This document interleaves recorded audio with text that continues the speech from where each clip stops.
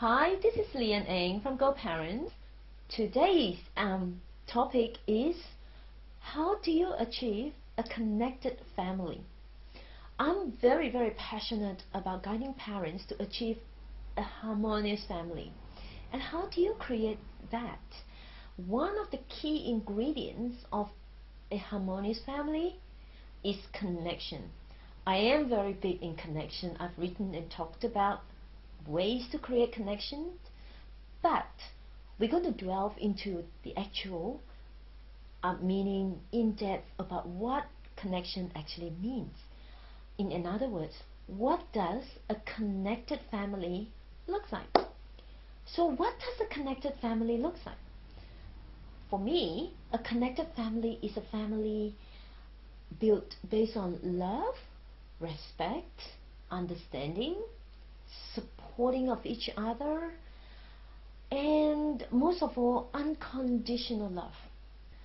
I have created five scenarios how we can actually look at and based on those principles we're going to come up with um, ideas on how do we create the connectivity and the connection uh, with your family. Today I'm going to share with you the second example about how to create a connected family. The second one is interaction. Basically, doing things together.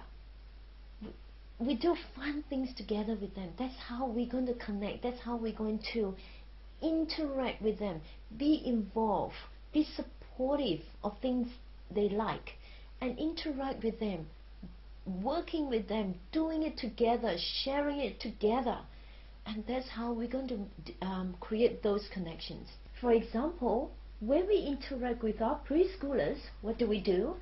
If they like playing games, we play with them together. For example, um, kicking a ball, uh, playing soccer, go swimming with them, and when they start laughing and sharing those moments together, it actually fosters closeness between you and your children and it helps them to build up their confidence and the connection that's uh, between you and your child.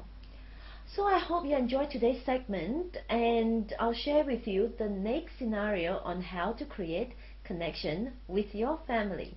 Thank you.